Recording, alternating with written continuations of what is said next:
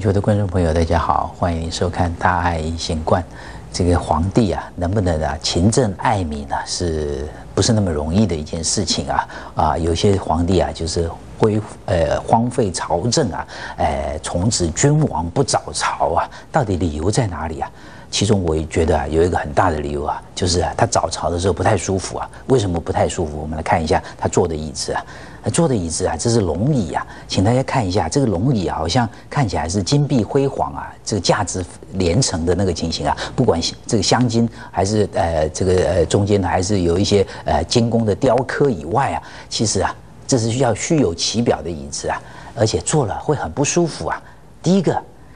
呃，到底什么样的好椅子才适合给皇帝坐？这我们已经不需要去考量啊，因为没有皇帝的情形啊。而导致怎么样的一个椅子适合现代人去坐，恐怕是呃需要考量。不过我们可以了解，假如用我们现代人体力学的一个观点来看，那样的龙椅啊，大家看看坐了会舒服吗？为了显示这个皇帝的一个好像崇高伟大，所以大家知道这个高度会很高的。所以我们可想而知，这个皇帝啊，这个要踏在这个地上啊，这个脚啊，有时候啊也不太能够整个踏踏。在地上，然后啊，这个椅子要大的结果，能不能坐得很安稳？然后背后能不能有支撑啊？啊，两边手能不能靠啊？都是有很大的问题啊。所以啊，坐那个椅子啊，想必不是一件什么舒服的一件事情啊。所以当皇帝，大家不要呃羡慕古代的皇帝啊。其实现代每一个人都比古代的皇帝啊要来的幸福美满的很多啊。我们要知足啊啊，这个才能够呃创造出对于我们自己健康的一个更深的礼物啊呃。体悟啊，为什么是这样讲呢？就是跟椅子有关系啊。现代的椅子其实都比那个龙椅啊要进步很多，但是呢，我们的坐姿啊还是显然有问题啊。我们先提出一个问题给大家，请大家思考一下。这是我们在办公室里面非常常见的一个影像啊，请大家看这样的一个坐姿啊，您找出它几个有问题的点。啊，他坐姿是这样子，很聚精会神的在处理啊，这个需要处理的一些资料，在电脑桌前啊。我们先不管这个呃头部的一个姿势，我们就光就这个坐姿来看的时候，您大概找出他几个有问题的点，这个是非常常见，但是也是很多人现代人腰酸背痛的理由啊。呃，问题在这里啊，所以啊，到底答案是什么？我们。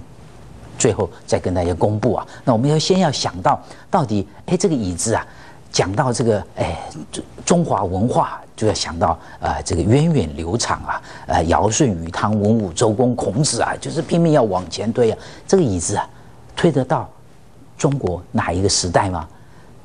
很是不是我们这个很早以前的五代呃这个呃这个呃这个呃三皇呃五帝的时候，那时候就有椅子呢？不是。椅子出现在中国历史事实上是蛮晚的，到南宋的时候才出现了。所以隋唐，我们譬如说日本啊，受隋唐的文化影响很深啊。我们可以看到这种跪姿啊，大概是非常常见的这个姿势啊。呃，没有椅子啊。那古代隋唐那时候没有椅子啊？为什么？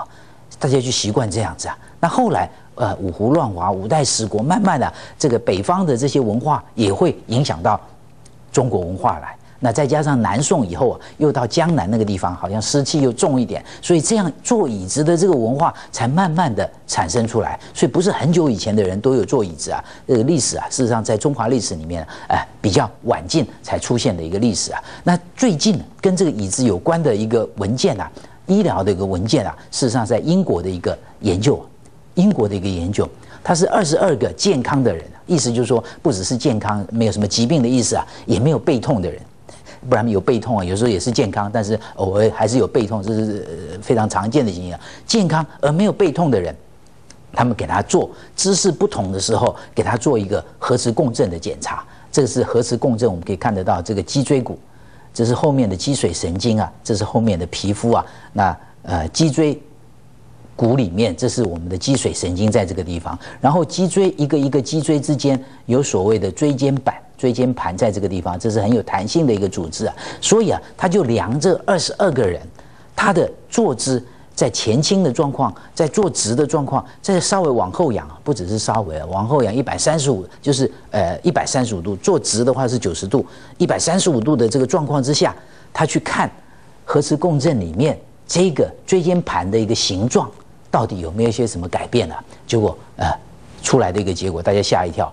一百三十五度的时候啊，椎间盘形状最没有改变。意思就是说，这样的一个呃姿势，似乎对椎间盘的一个压力最小的一个情形啊，哎，这样大家是不是平常啊？我们做任何事情都是椅子要弄成后往后仰，那这样的时候，这个怎么去？做其他的事情啊，会产生更大的一个困扰，所以医学研究啊，有时候啊，我们判读上还是要非常仔细啊，小心啊，不然以后每个人呃坐椅子的时候都是往后，那这个到底那个精神还有力量啊，怎么去呈现？那到底它对我们的背部的一个影响是怎么样？其实啊，还是要拉过头来看我们脊椎的一个结构啊，我们脊椎啊，大家要有一个非常正确的观念，就是它不是一块骨头，它是有好多块骨头共同来形成，才有办法把这样的一个力量啊。传达下来，而不至于造成我们的一个腰部或者是颈部太大的一个呃承承受跟负荷，所以它必须要很多块骨头啊，把这个力量分散掉。同时啊，借着这样的一个形状，请大家把这样的一个影像啊，仔细的看一下。这个影像告诉我们的说，那个脊椎骨不是这样子啊，直直的，它是有弯曲幅度的。所以啊，正常为什么它有要有这样的一个弯曲跟幅度啊？最主要理由就是把这个力量啊能够分散开来。那么更重要就是说，这样的一个幅度可以让我们哎有一些支撑的一个管道可以去做的时候，可以让这个幅度维持着一个时间啊比较久一点啊。譬如说，大家也知道有一些驼背的病人，或是有一些肌呃这个脊柱侧弯的病人，他整个脊椎的一个幅度。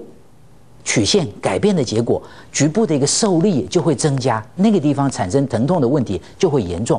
所以，我们做任何事情的时候，大概要想到的事情就是说，我们怎么让我们的脊椎骨维持它这样双。S 型的，在颈椎有个 S，在腰椎也有个 S，往前凸、往后凸的这个形状，我们再回过头来看一下，就是颈椎这个地方要往前凸，腰椎这个地方也要往前凸，胸椎这个地方有一点往后的这个形状，我们一定要去牢记在心啊，尤其是腰椎这个地方，让它颈腰椎有一点点脊椎骨有一点往前倾啊，这个才是最重要的一个呃考量。那当然，椎间板。